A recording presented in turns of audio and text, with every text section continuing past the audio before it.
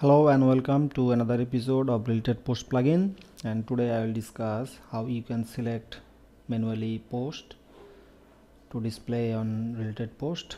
And to do this you will have to edit the post to see the option. And basically by default this post are query by category or taxonomy or tags and you can replace this post by manually selected post. And here it is under the sidebar you will see the option.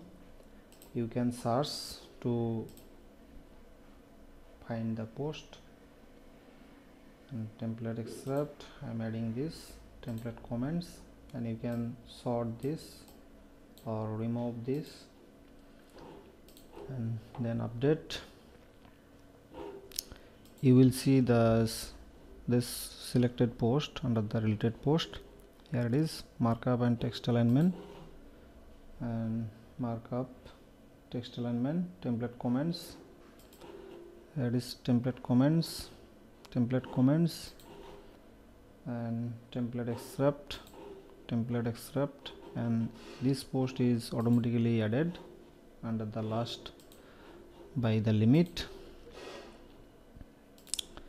and you can limit the post by max number of post. Here it is.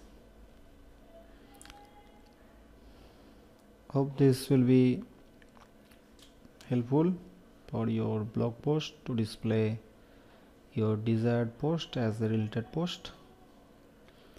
Thanks for watching